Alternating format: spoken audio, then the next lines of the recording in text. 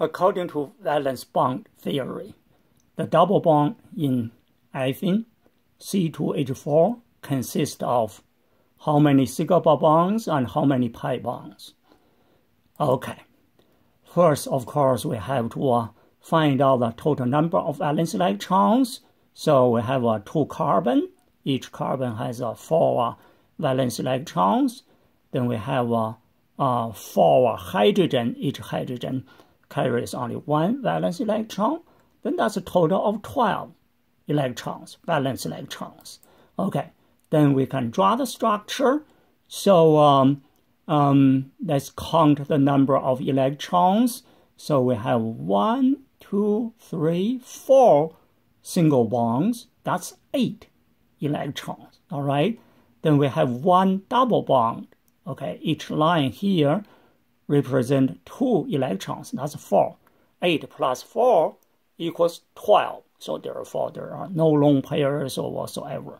Okay. So now let's take a look. What are sigma bonds and what are pi bonds? Sigma bonds, okay, when the p orbitals approaches s orbital or vice versa, sigma bond can be formed. Or if two p orbitals approach each other, height to height or height to tail, doesn't matter, all right? So we'll just this way. Oh, sigma bonds also are formed. Then pi bonds, they will use the pi orbitals, but they don't approach to each other, height to height or height to tail, Rather, parallelly, shoulder to shoulder, we call that. Okay, so that's how pi bond is formed.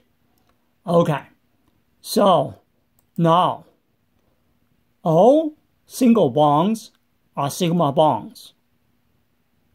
So if we look at this molecule, C2H6, now C2H4, so this is a ethane E T H A N E A N E. Here with the double bond is E N E.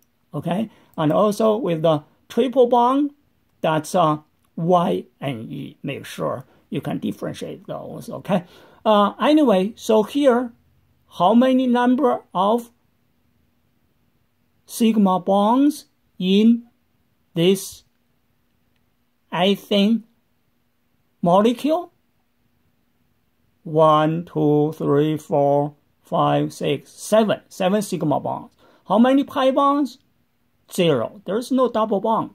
You have to have double bond or triple bond, you know, present in order you can have pi bonds.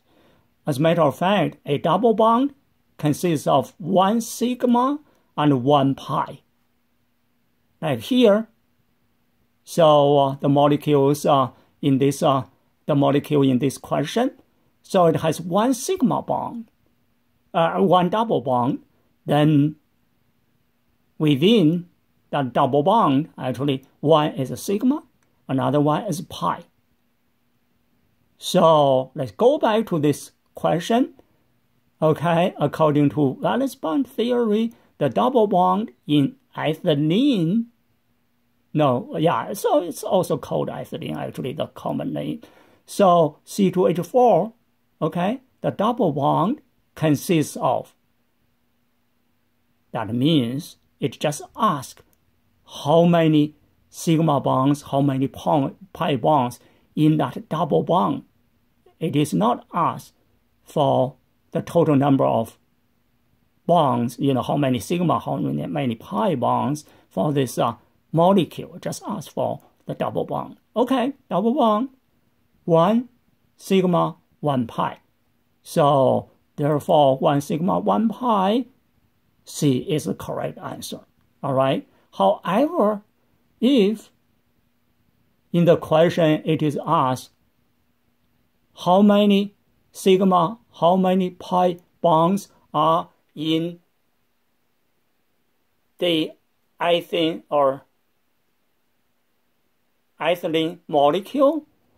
That will be 1, 2, 3, 4, You, you see each single bond is a sigma bond. So uh, 4 and then one more from the double bond, total of 5 sigma bonds, and then y, 1 pi bond. Okay, so here in acetylene, there should be, for the molecule, there should be one, two, and then another one, three sigma bonds, and then two pi bonds.